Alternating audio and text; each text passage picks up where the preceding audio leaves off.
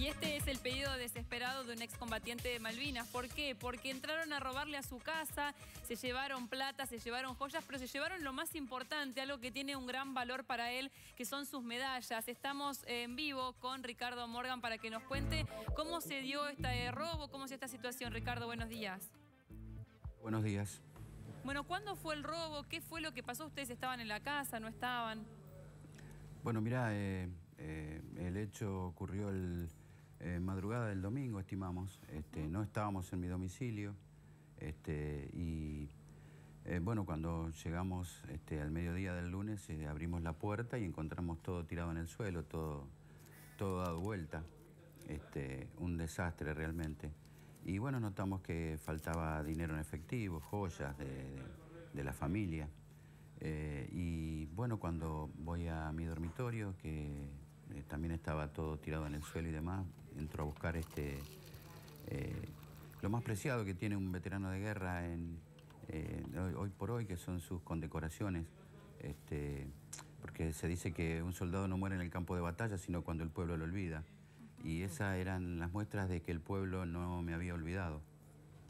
Y bueno, no estaban. Este, realmente una tristeza terrible. Claro. Porque me robaron una, parte de mi historia. Sin dudas. Ricardo, cuando ustedes llegaron a la casa, ustedes, ¿estas medallas eh, estaban guardadas en algún lugar particular? Porque por el valor que tienen, imagino que además eh, las conservaba de una manera especial. sí, sí, estaban dentro de, una cajita bien guardadas. Este, y, bueno, se ve que cuando han tirado todo en el suelo, esa cajita se abrió y eh, llama la atención, como, como verás en la imagen, este, por sus colores. Son este, doradas y plateadas y habrán pensado que tienen algún valor dinario, pero, pero no. Eh, es el valor sentimental este, y, de memoria que tienen para, para un veterano.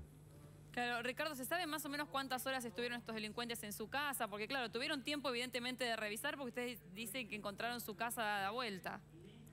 Eh, sí, estimamos que han trabajado este, tranquilos porque este, te vuelvo a repetir, el trabajo de, tirar todo, todo en el suelo y, remover todas las pertenencias que, uno posee te lleva tiempo, sí, estimamos que, han trabajado tranquilos. Ricardo nos decía, y, sin dudas el valor sentimental que tienen estas medallas para usted, el recuerdo no solamente eh, de lo que usted ha vivido, sino también el reconocimiento. Cuéntenos un poco cuál fue su labor, su rol en la guerra.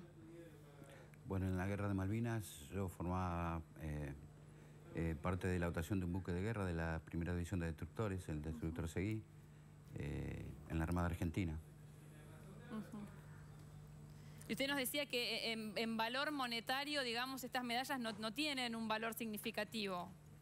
No, no, no, para nada, para nada. Este, te vuelvo a repetir, es más el, valor sentimental, este, que uno las guarda con mucho con mucho cariño. Este, uno la utiliza en, las ceremonias de nuestras fechas patrias, donde somos invitados para participar. En,